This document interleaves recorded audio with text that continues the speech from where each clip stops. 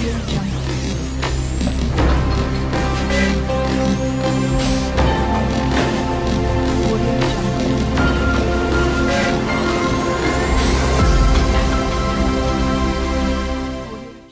القراءة الآن مع الدكتور عماد الحيدري فليتفضل مشكورا. السلام عليكم أيها الحفل المؤبن الكريم ورحمة الله وبركاته.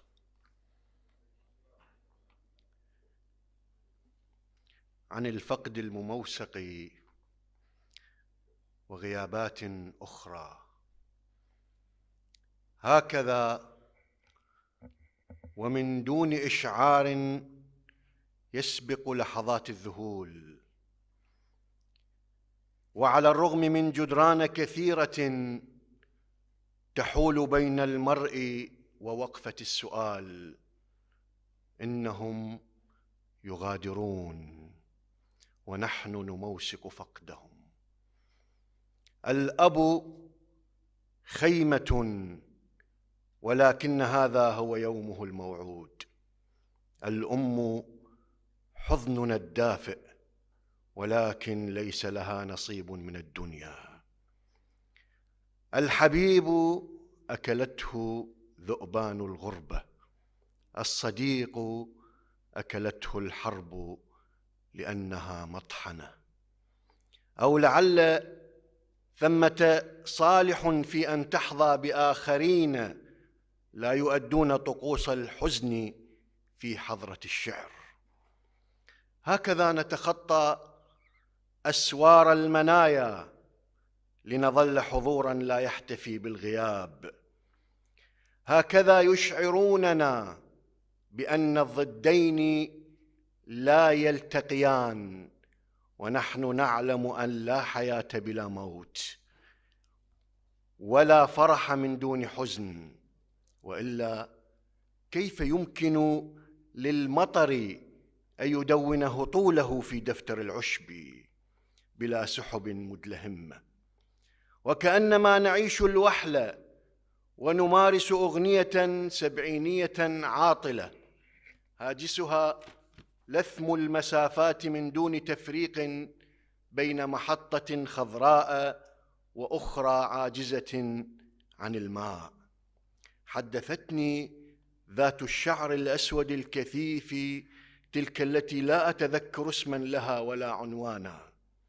عن مشروع يسوغ نكهة الفراق فقالت هب أنك مولود على غصن شجرة في يوم عاصف أو على ظهر جواد جموح أفلتته الريح من زمامها.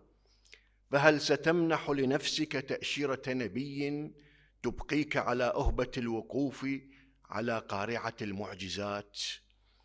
أو هب أنك مقاتل شرس العريكة يصارع زوابع الزمن فيقف على بعد شهقة من محطات الفقد متاملا نجما إذ هوى أو فارسا أنهكه صهيل العمر فترجل عن صهوة الأسئلة. فهل يستفيق لديك رثاء الأمنيات؟ هكذا اذا تسوغين هكذا اذا تسوغين الذبول وتروجين لثقافة الجفاف في زمن ندر فيه العطر وشح فيه سدنة الماء. كيف يمكن للأريج أن يشاكسه بوح الرمال؟ وما الجدوى من بحر لا يعتريه موج هادر؟ وما أنت إلا غرارة لمن لا يتقن مواسم الخوض وغدارة لمن يشتهيه الشعر وتبكيه القافية. فلا وربك لا أقدر على تذوق هذه المرارات ولا وربك لا أجيد الرثاء. أو ربما كانت أول المراثي تلك التي كانت في حضرة الورد حينما رشقته سهام الذبول.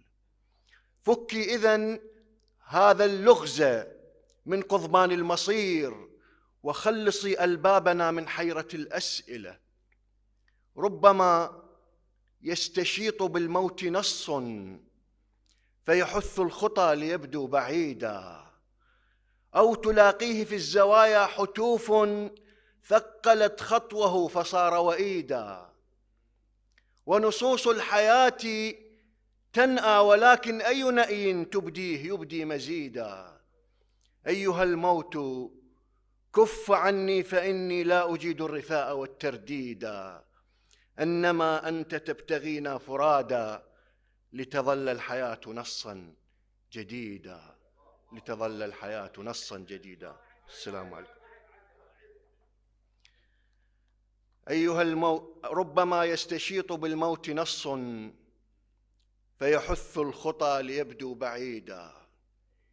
أو تلاقيه في الزوايا حتوف ثقلت خطوه فصار وئيدا. ونصوص الحياة تنأى ولكن أي نأي تبديه؟ يبدي مزيدا أيها الموت كف عني فإني لا أجيد الرثاء والترديدا أنما أنت تبتغينا فرادا. لتظل الحياة نصا جديدا. والسلام عليكم.